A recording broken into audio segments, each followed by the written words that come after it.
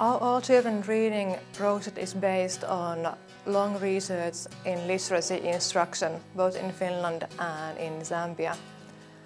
Uh, we have been developing this learning game for children with reading difficulties called Grapho Game.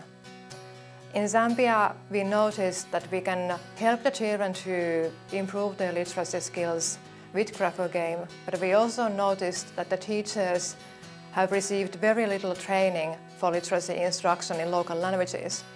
So for this project, we decided that we will focus on teachers to find the most sustainable dissemination model for our Grapho Game teacher training service. By using Grapho Game, teachers can access scientific information on learning to read and self-study literacy instruction methods by using their mobile phones. Zambian teachers may have many challenges in their work, but lack of scientific information on learning should not be one of them. There cannot be sustainable education system without scientific research on learning, and the best people to do that are the people in the local area.